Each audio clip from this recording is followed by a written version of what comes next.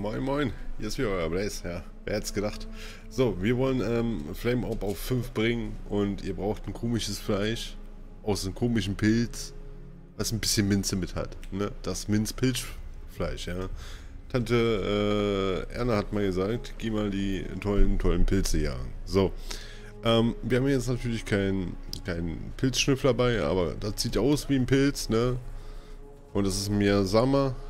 Miasma, Entschuldigung, ich habe mich schon wieder versprochen. Den einfach schön mit der Axt abbauen. Und ihr rockt die Hütte. Ja, das ist ganz einfach.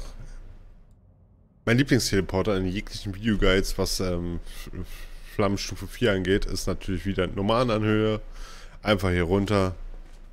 Hier oben ist noch nicht mal äh, das Zeug. Ja, das ist Miasma. Aber hier könnt ihr ganz entspannt die Pilze farmen.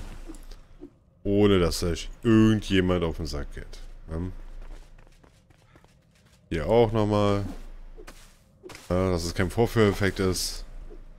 Wunderbar. Zack, zack. Den auch noch. Und in dem Falle sage ich... So, Grafikpack.